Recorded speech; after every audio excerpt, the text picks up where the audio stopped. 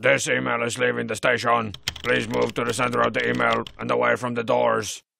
Dear Strongman, I have recently been wondering about the origin of the stick.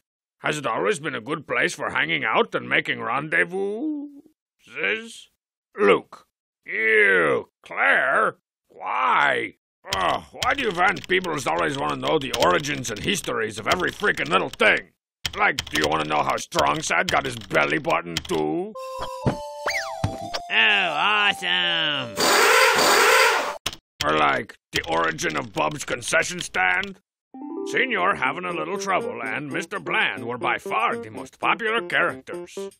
Then they were crushed by a falling Bub's concession stand. Hot time, said Bubs. Well, I'm not going to show you those things, or the origin of the stick, but I will indulge your curiosity about the stick's hanging altitude. It currently rates a 10, but such was not always the case. Like when Homestar used to hold his weekly bread sing-alongs. We avoided that place like the plague. Er, plague. And what is a good time for me? To singing what is a good time for everybody? We sure sniped that problem right between the eyes from 300 yards by scheduling the Cheat's rhythmic chain dancing recitals to the same time and place. I cut the crust off in the morning light. It's quite good. Floods Grace!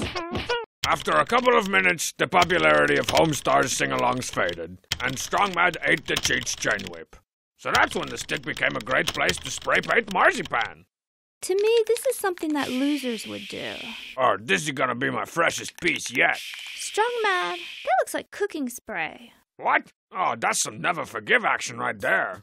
But spray painting people isn't very much fun when they stand there and make fun of you. So he superglued her to Homsar and left them for dead. Ooh, I think I hear wolves coming.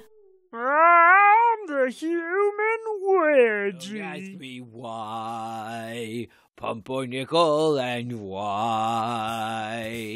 In order to properly leave them for dead and not keep hanging around them for dead, we relocated to behind Bubs's and started calling ourselves the On Point Kings. We didn't take no guff from nobody. Hey man, I know what it means. I was just seeing if you knew. Have you guys seen my moleskin journal? You want another belly button there, Harry Elefante? Whoa, no, sir. Heck no at all. Man, did you guys see me refuse to take that guff? I flat out rejected it. That guff never even had a chance. Ah, that's what being an on point king is all about. I hear somebody mention a pointy king. Doink, doink. Heck no at all. So you see, Claire, if it weren't for the stick, and Marzipan's considerable resistance to death, the on point kings may never have stolen the King of Town's dunce cap and renamed it Lotion Man. Don't don't ask. It was Strong Mad's idea.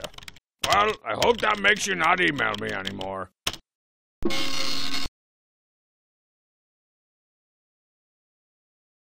And what is a good time for me? To singing what is a good time for everybody? I cut the crust off in the morning light. Don't ask me why. Pumpernickel and why.